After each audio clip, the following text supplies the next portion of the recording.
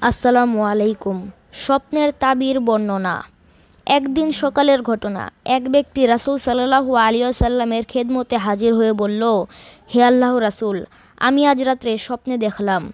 একটি মেঘের টুকরা থেকে ঘি ও মধু পড়ছে। আর মানুষ তা হাতে নিয়ে পান করছে। কেউ বেশি, কেউ কম। এরপর আমি একটি রশি দেখতে পেলাম, যার দৈর্ঘ্য আশা থেকে জমিন পর্যন্ত বিস্তৃত। এরপর দেখলাম, আপনি ওই রশি ধরে উপরে উঠে গেলেন। আপনার পর আরেকজন ব্যক্তি ওই রশি ধরল আর সেও উপরে উঠে গেল। এরপর আরেকজন ব্যক্তিও আগের জনের মতো রশি ধরে উপরে উঠে গেল।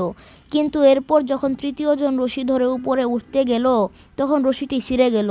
অবশেষে রশিটি জোড়া দেওয়া হলো। এরপর সেও ওই রশি ধরে উপরে উঠে গেল।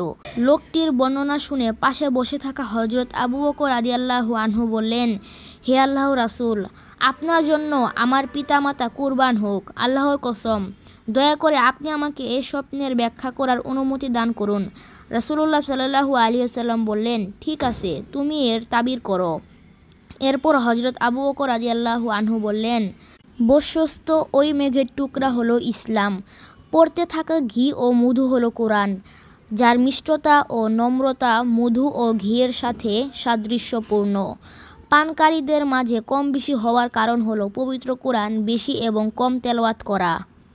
আর বাকি রইল রশিটি রশিটি হলো আপনি।